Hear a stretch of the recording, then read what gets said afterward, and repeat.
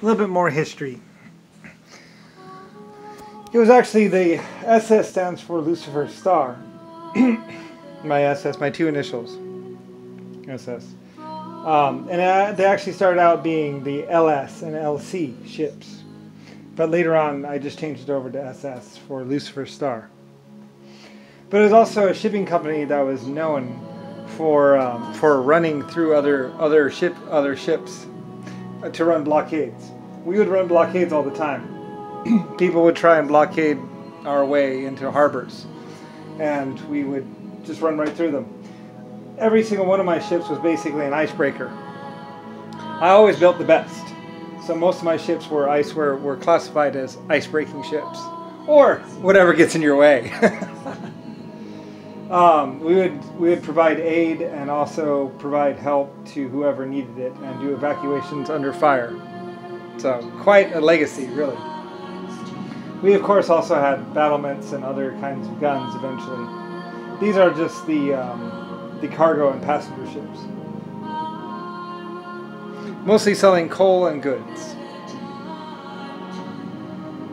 But um, we also employed Chinese security forces as well as Irish workers.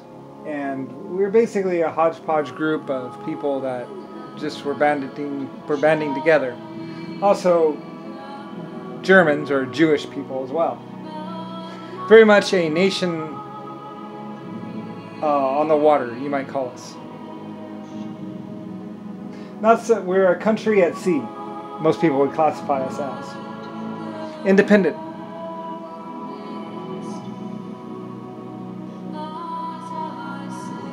This would stand for Republicans Men's Ship.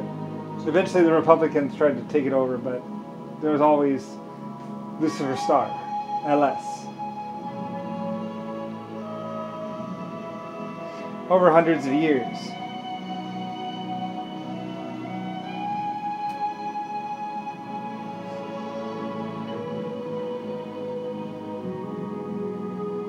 Ships that were known around the world.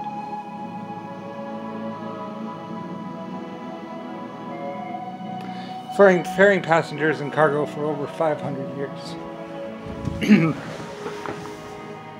a proud legacy we had.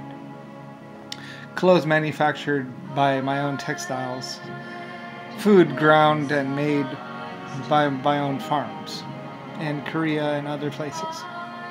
Many different people would sail aboard my ships Irishmen, Germans, and also Chinese as well we were not one group of people, we were multi- many groups of people.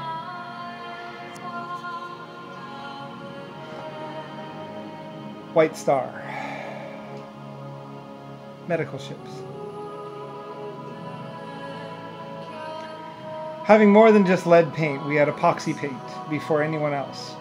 Very much connected to Renault and other major manufacturing companies.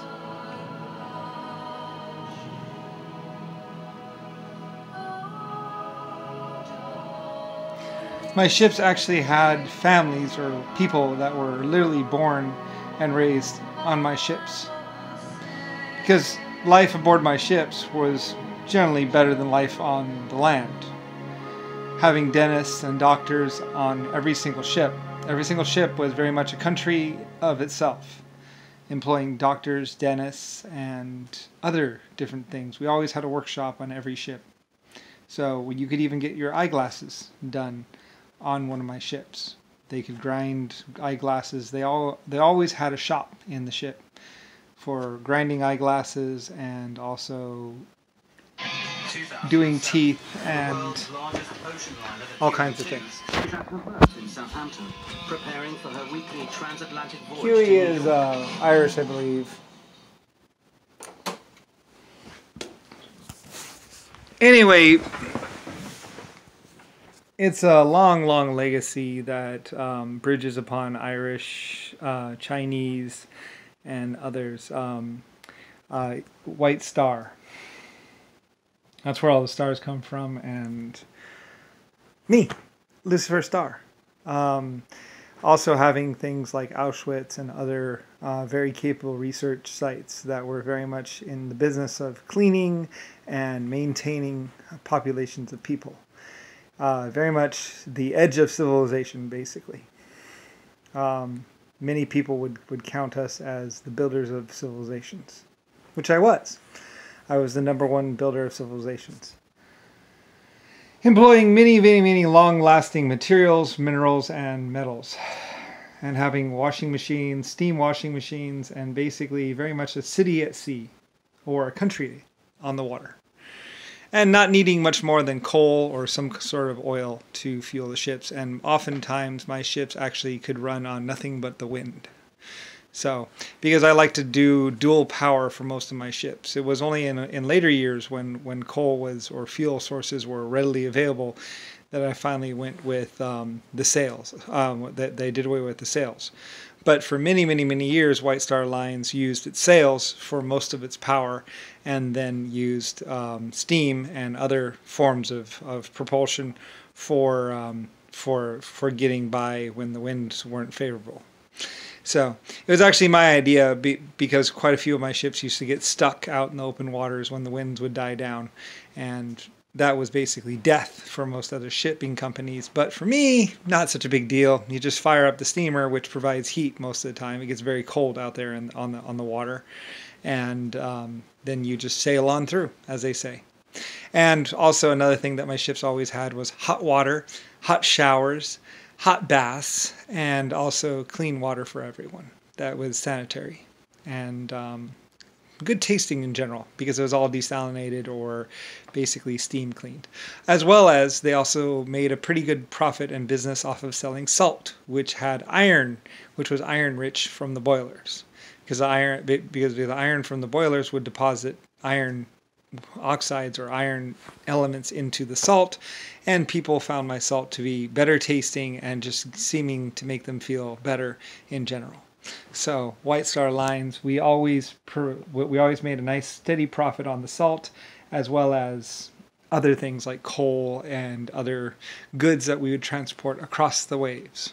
So, very much took on a life of its own, and um, like I say, many children grew up in the in the care and service of my ships. Literally a 500 or 1000 year old shipping company that just never seemed to die. And like I said, um, we were very much the saviors of, of groups of people and places when our ships would ram through uh, uh, drug dealers or other dictatorships that would try and blockade a harbor. We would just simply run through it like it was nothing. And our ships so high that even when they set their ships ablaze, we didn't mind, we just simply powered on through. We could go through a firestorm, they literally said. And so a few of my ships actually did go through firestorms. And not much other than some blistered paint, sir. Anyway, it is a beautiful and gorgeous and, and long lasting legacy of what was my empire. What is my empire still? and it actually went to space. So with the LSF-A colony ship. Anyway, all things that Nixon, like I said, it was Nixon or somebody that sat for the first time inside inside the car, one of my cars that was being transferred over on my Lusifer White Star line ship Titanic, LS Titanic. And he basically sat inside those nice felt or whatever seats and said to himself that he wanted what I had and set to work to try and take me down. But where was I? Who was I? When was I? Taking me down would be a little bit more of an issue and ever increasing in complexity every single day.